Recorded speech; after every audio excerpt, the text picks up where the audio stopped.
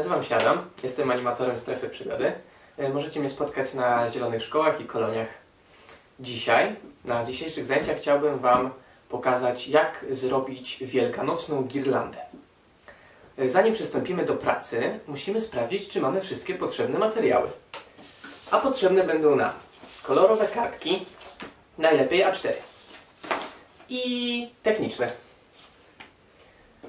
Ołówek, taśmę klejącą albo klej, dziurkacz, nożyczki, tasiemka albo sznurek. Oraz flamastry, kredki i inne przybory artystyczne, którymi będziemy ozdabiać nasze jajka. Na samym początku na jednej z kartek musimy narysować owal jajka albo posłużyć się y, gotowym wzorem z internetu. Kiedy już mamy takie narysowane jajko, musimy je wyciąć.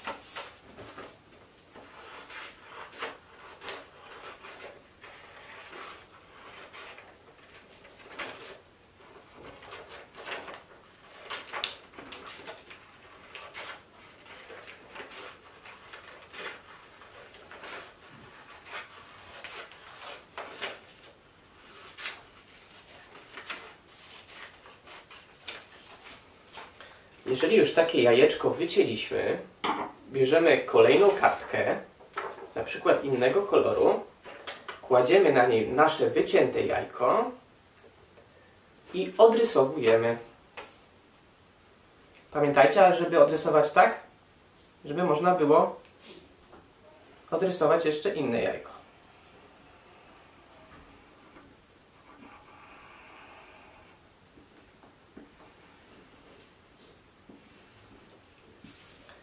I takie jajeczko sobie również wycinamy. Takich jajek robimy sobie tyle, ile chcemy mieć na naszej girlandzie. Jeżeli wytniemy już wszystkie, to je ozdabiamy. W jakikolwiek sposób chcecie. Możecie coś na nich narysować, namalować, wykleić, na przykład bibułą. Tutaj technika jest dowolna. Ja na jednym ze swoich jajeczek e, namalowałem wstążeczkę. Kiedy już mamy wszystkie nasze jajeczka gotowe, to robimy w nich dziurkę dziurkaczem na górze. Kiedy już nasze jajeczka mają dziurki, bierzemy sobie kawałek naszego sznurka, takiej długości, jak długa ma być nasza girlanda.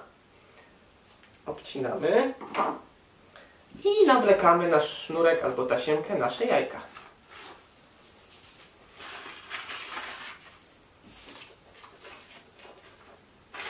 Ten właśnie sposób. Jeżeli teraz podniesiecie Waszą girlandę, to nasze jajka będą nam się bujać. Aby temu zapobiec, możecie je podkleić od tyłu kawałkiem taśmy albo przykleić na klej.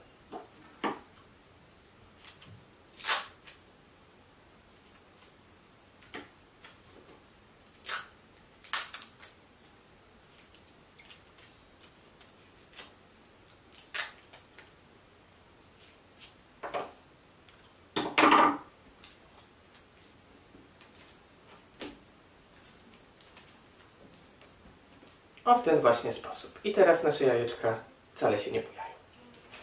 Ja już sobie wcześniej przygotowałem taką girlandę. Ona może być znacznie dłuższa oczywiście i może mieć różne kształty, nie tylko jajeczka. Możecie zrobić kurczaczki, owieczki i inne rzeczy, które Wam się kojarzą z Wielkanocą i takie kształty sobie odrysować, wyciąć, ozdobić i przykleić na naszą girlandę. Na dzisiaj to już wszystko. E, Wysyłajcie nam w komentarzach Wasze girlandy, pochwalcie się jak, na, jak Wam wyszły. No i co, śledźcie nas dalej na stronie i do zobaczenia wkrótce.